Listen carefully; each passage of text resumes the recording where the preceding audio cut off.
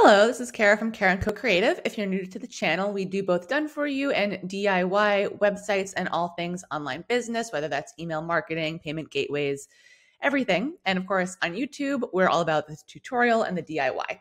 So today I'm going to do a very quick tutorial on how to integrate Flodesk forms with your Squarespace website. It's actually really easy.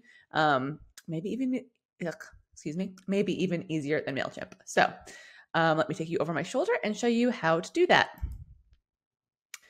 Alrighty, so this is my website. This is a client's Flodesk account. So the first thing we need to do is set up a form. If you don't have a form in your Flodesk already, all you need to do is hit add new form. And this is where you can browse your options. I'm doing an inline form. That's what this tutorial is for. So that is one that is in the body of your page, which is what I recommend the most. Really, nobody enjoys pop-ups. Um, so ribbon banner is option one, option two. So you choose your option. You can choose what segment of your list it wants to go to. We're going to say this, save. And then here we have this, and now we can go about editing it. So we can edit the font, the colors, the buttons. Um, it's really a nice visual builder. So you can do a lot here. Um, enable double opt-in. That's up to you. I usually say if you're not dealing with any spam issues, then no. If you are starting to see spam signups on your site, then yes. And the next thing you'll want to do is um, decide on this, depending on what your options are. Display success message is about the easiest one. Redirect to URL. This can be good if you are trying to give somebody a free gift or something in exchange for their email. Sometimes getting them to that quicker is a good option. And continue to embed. So all we need here is the inline code. We're going to go ahead and copy that.